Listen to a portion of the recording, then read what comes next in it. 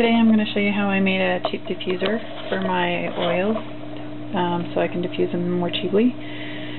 Um, I bought a diffuser, glass diffuser bottle online, or actually at a store. I think it was $100 at like a Whole Foods type place, and my kids knocked it and bumped the top that directs the oils out. and then after a while the pump was not very strong, so I ended up buying a fish pump for a fish tank that would turn up and down and be higher or lower. It works. You can hear it's got you know some diffuser coming out and during most of the year that's not a big deal. That's actually just fine for our house. So I just have that on the counter and diffuse it as I go. Um, I usually buy the bulk oils um, from Now company if I'm going to diffuse. If I'm going to put it on somebody I'll go with a, um, some different companies different products that I like that are a little bit more pure organic and they're marked organic. Um, but if I'm just going to diffuse it, um, I will just buy the cheaper ones. Like this peppermint oil for this large bottle was, you know, $13. So, um, several people I knew had these and they broke, and so, or they get clogged because the oils get a little bit thicker if they've been sitting, or some oils are just thicker, and you have to water them down with a thinner oil like it's uh, orange or peppermint oil. So what I did is I looked for some used nebulizers, um, pulmonary nebulizers um, at, at garage sales or uh, secondhand stores. This one was $5 at the secondhand store. There's lots of different brands. Um, I paid up to $15 for one, and if you look on your local classified ads, you'll find several on there. They're all over the place for that cheap.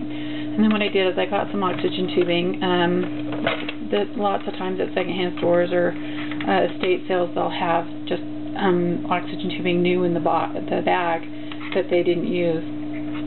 So what I'll do is I'll put the oxygen tubing on, I'll cut the nose cannula off or the oxygen mask off, and I'll take a glass dropper tip and I'll stick it on the oxygen tubing, and then I'll pour some oils, whatever mixture I want, in a bottle and then when I'm going to diffuse it, I'll put a few drops of that. It has to be, you know, enough to cover the bottom of the bottle. And then I just stick the glass thing. It has to be a large bottle or the strength of the air will make it bubble out. And you want to be careful that you don't put it on a wood surface because the oils will eat, eat away the finish on your wood surface.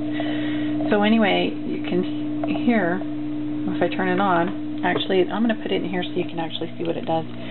You can see that right now there's nothing bubbling in there. But if I turn the nebulizer on, you're not going to be able to hear me, but I'll, I'll show you how much it diffuses, and you might be able to see there's a fine mist that actually comes out the top. So you can cleanse your whole house. If somebody's sick or got a cough or sneezing, you can just take this from room to room on, say, like a cookie sheet or something, carry it around, put it in that room for about 10 minutes, and move it around every, you know, set an alarm clean your whole house out in an hour or two. So watch this.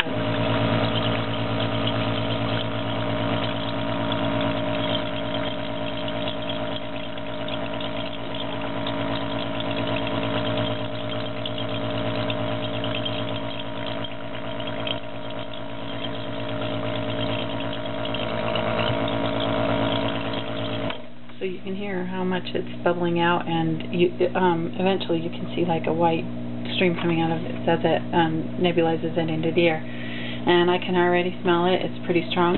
Anyway, um, there's lots of different blends and oils. Um, and you can go to my blog, thesecretisgratitude.com, and see some of the different things that we use and how I mix them and different bug sprays to keep the bugs out of the house, uh, mosquitoes, repellent, that kind of thing, and, and how we use a teething, things like that.